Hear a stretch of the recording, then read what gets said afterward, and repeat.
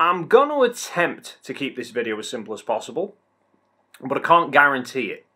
It might turn into a metric ton of nerdiness. So just on the off chance, might be worth grabbing some painkillers. I'm going to try and break down and simplify how different autofocus systems work. Really, there's three ways to do autofocus in a camera. You can use phase detection, you can use contrast detection, or you can use hybrid, which is just a mix of the first two anyway. Now this video is just going to be looking at how they work and the pros and cons to each general way of doing them. It's not going to be looking at individual camera systems and saying which system's the best because realistically in modern cameras these days the speed of an autofocus system is less to do with the style and the type of autofocus that's being used and more to do with one, how well the autofocus algorithms are coded, two, the processing power of the camera, how quickly is it able to uh, run all the numbers of every of all the information that is being given. And three, you've got the lens to consider. How fast is the motor within the lens? How quickly can it react to everything that it's being asked to do? You've trashed me lighting. One mention of autofocus and he's in. I have to say, this current studio setup is not ideal. He does not really fit on a chair. It was so much easier with the couch because he could just sit next to me and come and go as he please. You don't fit.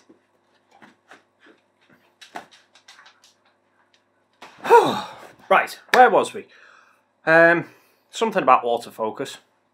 Quite ironic, really, that I'm talking about focusing with actually being able to focus. Where the hell were we? So we'll start with contrast detection because it's the simplest to explain. Contrast detection tries to detect contrast. There we go, moving on. What, you want me to explain it more? Okay. So, wherever two objects join or an object finishes and there's something else there, you get a pretty defining edge, which has a high amount of contrast. Now, as you shift the focus of a lens, the amount of contrast that different subjects display is going to change. To demonstrate this, I'm going to employ the help of a children's book. And no, it is not mine before you ask. So, white page, black writing. Now, if I keep this level with me here, you can see that all the writing is pretty clear. That's because it's in focus and all of the, the defining edges of the writing are nice and tack sharp. But if I move the plane of focus away from the book, suddenly now it's a bit more difficult to read. I know you're going to say you can't read it because it's out of focus. But when a subject goes out of focus, those defining edges blur out, so the amount of contrast drops. So when a subject is in focus, it has the most amount of contrast. Anything less than that is out of focus, and that's what a camera relies on if it's using contrast detection. It will look at the particular part of the scene that it's trying to get in focus. The camera would measure how much contrast is in that particular part of the scene, and would then shift the focus of the lens slightly. And then it would then re-measure how much contrast there is. If the amount of contrast has increased, it knows it's going in the right direction and it's going to shift it again and remeasure. If the amount of contrast had actually gone down, then it knows it's moving it more out of focus, so it's going to backtrack and start moving the lens back and then remeasure and then move and remeasure. There's pros and cons to this. The upshot is that by measuring contrast, it's very reliable. So when the camera gets peak contrast on that particular area, it's pretty surefire that your shot's going to be in focus. The downside, however, is that because a camera doesn't know how much contrast it's trying to find in the scene, it doesn't know how far out of focus it is, and it doesn't know in what direction either.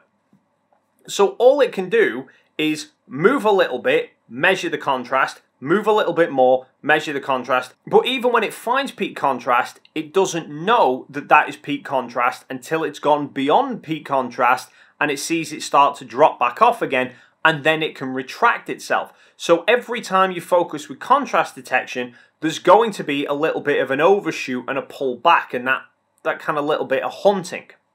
Contrast detection seems pretty straightforward. You're trying to detect contrast. But trying to detect phase. What's that all about? It works on the same principle as phases in audio, which you may or may not be familiar with. So just in case you're not, let's delve into that one as well.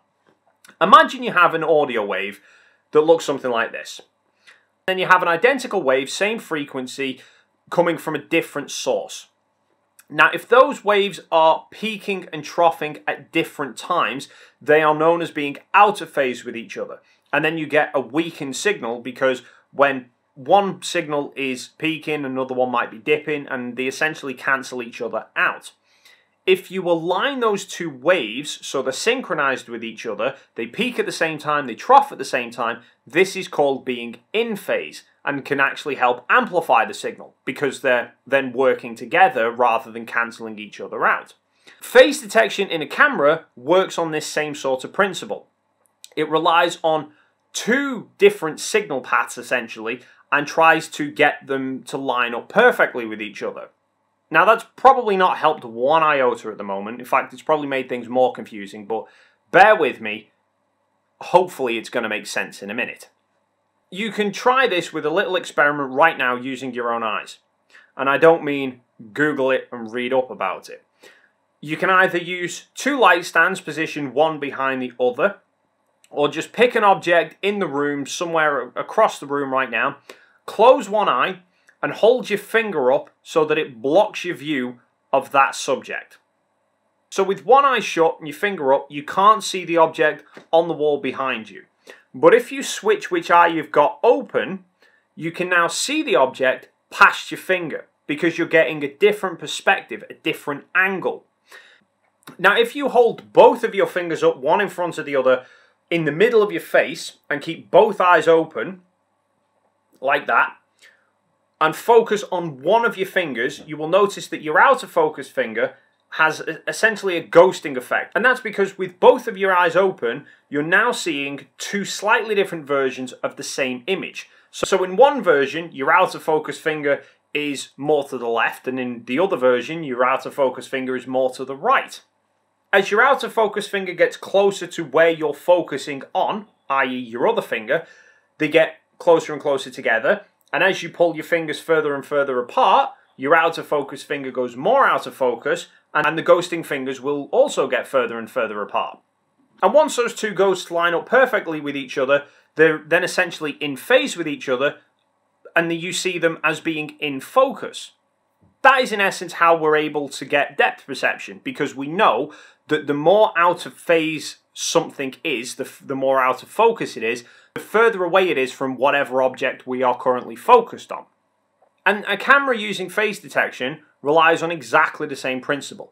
If you can provide it with two slightly different versions of the same image, essentially a left eye and a right eye, it can compare those two images up and it will know if the subject is out of focus because the part of the image it's trying to focus on will either be in or out of phase. But not only that, because the camera is comparing up a left image and a right image, it's able to distinguish whether a subject is not only front focused or back focused, so it knows straight away what direction it needs to change focus on, but it can measure how far out of phase the subject is, and it can calculate how far it needs to adjust the focus to get the subject back into phase. The downside, however, is that it's not always completely accurate. Sometimes the measurements might be ever so slightly off. Now, at this point, you might be thinking, Dave, I get the idea of uh, measuring depth with a left eye and a right eye, but how the hell does one camera with one lens and one sensor see two different images? Well, it does this by the image that's being projected into the lens, it looks at the left side of it and it looks at the right side of it. But how it looks at the left and right side, that's where there's a little bit of trickery involved. Now, really, there's two different ways that camera manufacturers get around this. The first is what most manufacturers do, the tr more traditional way of doing it, which is that your camera sensor, all those little photodiodes, the pixels, they will take two photodiodes that are very close to each other on the sensor, and they will cover the left half of one and the right half of the other. So for that particular part of the scene, that tiny little bit, the camera's able to see the left side of it and the right side of it and measure whether it's in phase or out of phase. They then cover the whole sensor in all these little groups of split pixels so that they're able to measure lots of different little points. The downside of this particular method, however, is that those photosites that they convert into measuring phase detection can't be used to capture the light. Really, that's not much of a big deal though, because if you imagine a 24 megapixel sensor, that's 240 million photosites. You might be talking about a few thousand that have been converted, so a very, very small percentage. And obviously the camera knows which pixels are essentially missing, so all it does is just fills in the blanks with whatever information is around it. The second way is what Canon have done with their dual pixel autofocus, which is a different way of doing it. What Canon have managed to do there is found a way to split each photosite into two halves. So each individual photosite is then essentially able to capture a left side and a right side and record the information as well. So in theory, phase and contrast detection solve each other's problems, which is when we then get onto hybrid detection, which essentially uses a mix of each. So the camera is able to use the phase detection side of things to quickly ascertain how far out of focus and in what direction do we need to be changing. And then we'll then switch to contrast detection to just make those small fine tuning adjustments to ensure that the image is spot on sharp. I think that pretty much sums everything up. So as always guys, if you have any questions or queries, comment box is down below. If you enjoyed this video or you found it helpful, or at the very least it didn't give you a splitting headache, please consider hitting the like and subscribe button. Thank you so much for stopping by and hopefully I will see you in the next video.